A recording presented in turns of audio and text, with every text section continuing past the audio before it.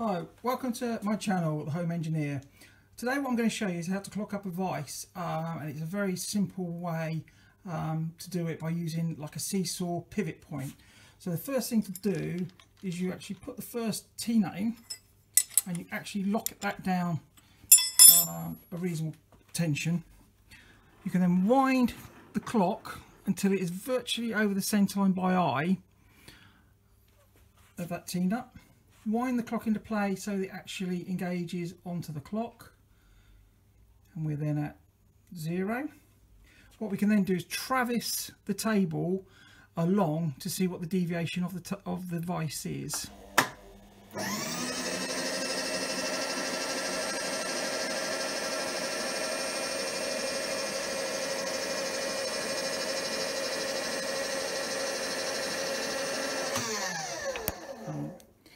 as you can see that's quite a bit out. So what we then do is I just take my copper hide mallet and then I give it a tap back to zero at that point. So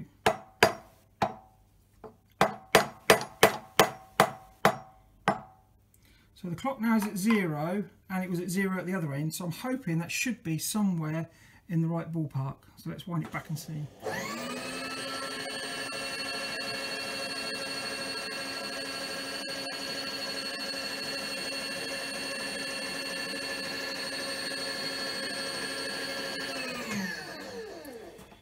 There we go.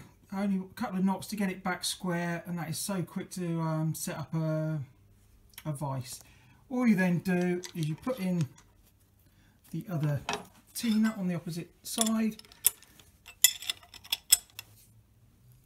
nip that down, make sure the other side's tight and just as a secondary check we just run that along just to make sure it is. We will wind it off and wind it back on not so far just to prove that it is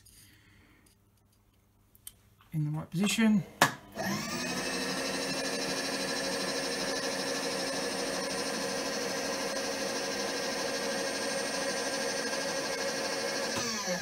So there we go, clocking a vice up in matter of seconds. Thank you very much for watching and subscribe if you enjoyed this channel. Thank you.